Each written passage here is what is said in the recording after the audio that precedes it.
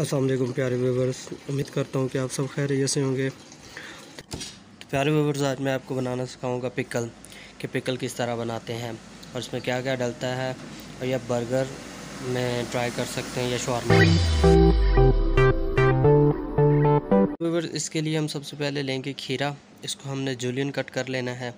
ठीक है, ज़्यादा मोटा नहीं रखना। उसके बाद हम विनीगर लेंगे। ठीक है, एक कप विनीगर लेंगे। विनीगर के बाद दो टेबल स्पून हम चीनी लेंगे, ठीक है? और जितना विनीगर हमारे पास होगा, उतना ही हमने तकरीबन पानी ले लेना है, ठीक है? पानी को हम पहले बॉइलिंग पे रख देते हैं, ताकि हमारा पानी उतनी देर बॉयल हो जाए हम, और हम इसके बाद इसको मिक्स कर लें।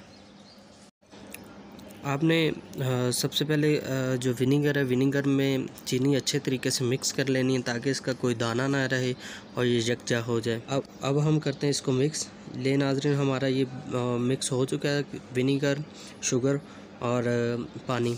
अब हम इसमें खीरे ऐड करते हैं। इसमें ये जुलियन कट खीरा सारा ऐड कर देना है और इसको कुछ देर के लिए रख देना है। तकरीबन आप दो घंटे के बाद इस्तेमाल करेंगे तो आपका परफेक्ट पिकर रेडी हो जाएगा। ये देखिए हमने दो घंटे का वेट दिया और हमारा परफेक्ट पिकल रेडी हो चुका है। अब हम इसे बर्गर शवारमा या किसी भी इस तरह की फ़ास्ट फ़ूड के आइटम में इस्तेमाल करेंगे। ये बहुत ही आ, कमाल का टेस्ट देगा। खुद खाएँ दूसरों को खिलाएँ और मुझे ढेर सारी दुआओं में याद रखिएगा। अल्लाह हाफिज़।